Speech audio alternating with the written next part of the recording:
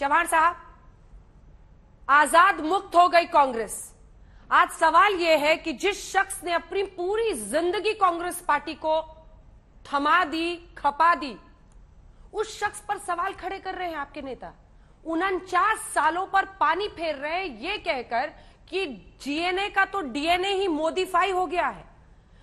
क्या है आपकी राय? आप आप, आप लोग समकालीन हैं आपने भी उनको करीब से देखा होगा जाना होगा। आपको लगता है कि कांग्रेस पार्टी के लिए जो उन्होंने काम किया, वो खून आज इतना पतला हो गया कि वो दूसरी पार्टी के लिए लॉयल हो गया? या फिर आपको लगता है कि दिल टूटा, कुछ सवाल खड़े किए हैं तो उनको सुनना चाहिए पृथ्वीराज देखिए गुलाम नबी आज़ाद जी का इस्तीफा बहुत ही दुर्भाग्यपूर्ण है। मुझे निजी तौर पर बड़ा सदमा लगा है। हमारे साथ थे। हमने कुछ दो साल पहले कांग्रेस अध्यक्ष सोनिया जी को एक खत लिखा था, जिसको मीडिया ने जी ट्वेंटी थ्री का वगैरह नाम दिया था। हमने उसमें भी यही सवाल उठाए थे कि क्यों लगातार कांग्रेस की हार हो रही है? क्या कांग्रेस में अंदरूनी जनतंत्र नहीं रहा है? क्या पिछले 24 साल से कांग्रेस के संविधान के अनुसार कोई चुनाव नहीं हुआ है? वर्किंग कमेटी हो चाहे पार्लियामेंट्री बोर्ड हो चाहे इलेक्शन कमेटी हो सभी जगह नॉमिनेटेड लोग भर गए हैं। और नॉमिनेटेड लोग आप जानते हैं कि जो लोग जो नेता उनको नॉमिनेट करते उसके खिलाफ कुछ बोल नहीं सकते, कोई अलग राय नहीं दे सकते। जो नेता को जो अच्छा लगता है, उसी की बात करते हैं। और इसी कल्चर की वजह से कांग्रेस पार्टी लगातार हार रही है। इसलिए हमने गुजारिश की थी अगर राहुल गांधी अध्यक्ष बनना चाहे तो ज़रूर बने। लेकिन अगर नहीं बनना चाहते तो कांग्रेस के संविधान के अनुसार चुनाव किया जाए। लेकिन ये टिप्पणी जो गुलाम नबी आज़ाद के खिलाफ की जा रही बहुत ही दुर्भाग्यपूर्ण है। एक ऐसी दरबारी मानसिकता बनी है कि आप, हमने आपको दिया। अरे, गुलाम नबी आज़ाद कांग्रेस वर्किंग कमेटी के चुने हुए सदस्य है, लेकिन जब कलकत्ता में चुनाव हुआ, जब तिरुपति में चुनाव हुआ, गुलाम नबी आज़ाद ऑफिशियल पैनल के कैंडिडेट ना होते हुए भी जीते। लोगों ने उनको, कांग्रेस कार्यकर्ता उनको जिताया है। उसके बाद आपने चुनाव ही नहीं कराए। पिछले 24 साल से कांग्रेस के अंदरूनी चुनाव नहीं हुए हैं। अब क्या कांग्रेस के अंदरूनी चुनाव हो? इसकी मांग करना कोई बगावत है? जो हमने पत्र लिखा था, उसमें कोई बगावत की बात की थी?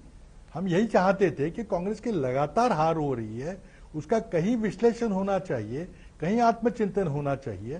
सोनिया गांधी ने उसके बाद हमसे बात की थी, पाँच घंटे हमारी चर्चा हुई, उसमें उन्होंने स्वीकार किया कि कांग्रेस के चुनाव अंदरूनी चुनाव होंगे, उन्होंने कहा था चिंतन बैठक करेंगे। अब जो उदयपुर में जो शिविर हुआ, चिंतन बैठक नहीं था। उसको, किसी ने उसको नवसंकल्प शिविर में बदल दिया। क्यों चिंतन नहीं करना चाहते? अच्छा जब केरला और असम वगैरह के चुनाव हुए थे, सोनिया जी ने एक कमेटी बनाई जाँच करने के लिए अशोक चौहान के नेतृत्व में। उस कमेटी की रिपोर्ट का क्या हुआ? कोई चर्चा हुई उस पर कोई पब्लिक की गई? उसके बाद यूपी, पंजाब, गोवा उत्तराखंड के चुनाव हुए, उस पर तो कोई कमेटी भी नहीं बैठाई। तो क्या चिंतन नहीं करना चाहिए? चिंतन इसीलिए हम कह रहे थे कि भाई ऐसी गलतियाँ फिर से ना हो। गोवा में हम सरकार हम, हमारा अक्सरियत आई थी हम जीते थे चुनाव लेकिन हम सरकार नहीं बना सके। कौन जिम्मेदार इसके लिए? अभी हाल ही में महाराष्ट्र में विधान परिषद के चुनाव में सात कांग्रेस विधायकों ने पैसे लेकर बीजेपी को वोट किया। उसका कोई एक्शन लेने वाला है? कोई एक्शन होना है कि नहीं होना है? कौन कौन निर्णय ले रहा है? आपके मन में भी आ रहा तो है। हमारी मांग ये है कि पार्टी को लेकर तांत्रिक तरीके से चलाइए। आपके मन में भी पार्टी को लेकर ऐसा मोह टूटा है कि आपको भी लग रहा है कि पार्टी छोड़ने की नौबत आपकी बातों से ऐसा लग रहा है। वरना आप पर पृथ्वीराज जी अब ये इंटरव्यू देखने के बाद तो सब बरस पड़ेंगे। देखिए मैंने कभी नहीं देखिए पार्टी छोड़ने की कोई बात नहीं कर रहा है। मैं ये बता रहा हूँ कि गुलाम नबी का पार्टी से छोड़ना इस्तीफा देने की नौबत आना है बहुत दुर्भाग्यपूर्ण है। लेकिन हमने जो तेईस लोगों ने जो पत्र लिखा था। हम उसी पे कायम हैं। हम यही कह रहे हैं कि कांग्रेस की एक कांग्रेस अगर हम मोदी जी को तानाशाही होने का आरोप कर रहे हैं तो क्या कांग्रेस पार्टी जनतांत्रिक तरीके से नहीं चलनी चाहिए क्या कांग्रेस के अंदरूनी चुनाव मांगना कोई बगावत है। मन में ख्याल तो नहीं आ रहा पार्टी छोड़ने का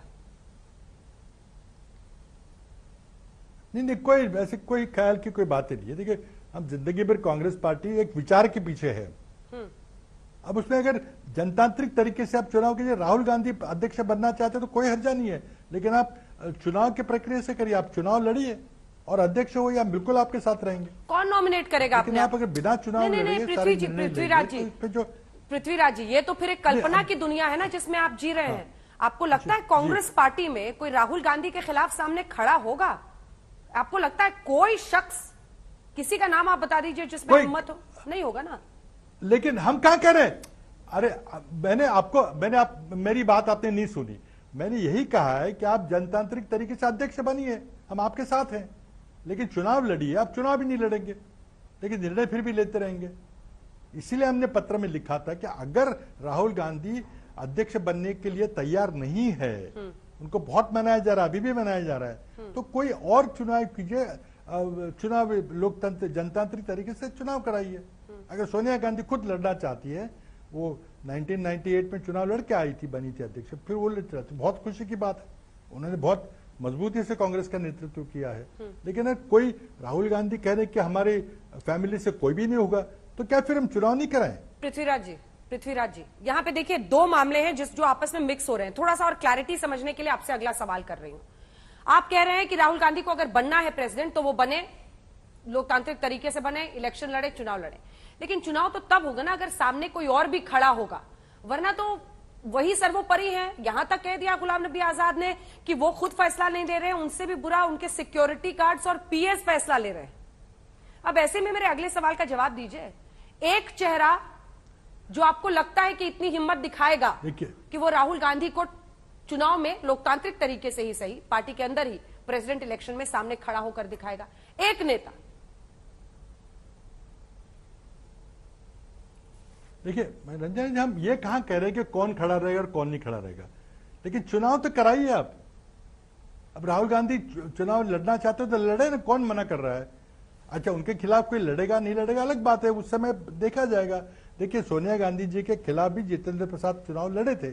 उनको मात्र पाँच प्रतिशत वोट मिले, लेकिन चुनाव तो उन्होंने लड़ा था। केसरी जी के खिलाफ स्वयं शरद पवार जी और राजेश पायलट जी चुनाव लड़े थे। वो हार गए थे, लेकिन चुनाव तो लड़ा था। एक स्टेटमेंट तो किया था कि ठीक है हम चुनाव लड़ेंगे करके। अब बात यह है कि कोई खड़ा रहता है या बिना कुछ के, और है, पृथ्वीराज जी। बिना विरोध के चुनाव जीतते हैं कोई। मौजूदा दौर हम मना थोड़ी कर लेकिन आप चुनाव तो कराइए। मौजूदा दौर कुछ और है। एक दो सवाल और फिर चलेंगे बाकी मेहमानों के पास। मौजूदा दौर कुछ और है। आज ये बताया जाता है ये समझाया जाता है ये पट्टी पढ़ाई जाती है कि गांधी परिवार नहीं तो कांग्रेस बिखर जाएगी। गांधी परिवार नहीं तो फिर कौन एकजुट रखेगा? गांधी परिवार नहीं तो फिर ये पूरी की पूरी पार्टी में ऐसा अलग अलग तरीके से सब बट जाएँगे कि फिर विपक्ष के नाम पर कुछ नहीं रहेगा। अब इस इस इस दलील का क्या काट है आपके पास? क्या जवाब है इसका? देखिए, हमारा एक ही बात है कि हमारा जनतंत्र है, जनतंत्र में पॉलिटिकल पार्टी अहम होती है। पॉलिटिकल पार्टी का अपना संविधान होता है, जिसे इलेक्शन चुनाव आयोग के पास रजिस्टर किया जाता है और पॉलिटिकल पार्टी जनतांत्रिक तरीके से चले ऐसी अपेक्षा संविधान निर्माताओं ने की थी।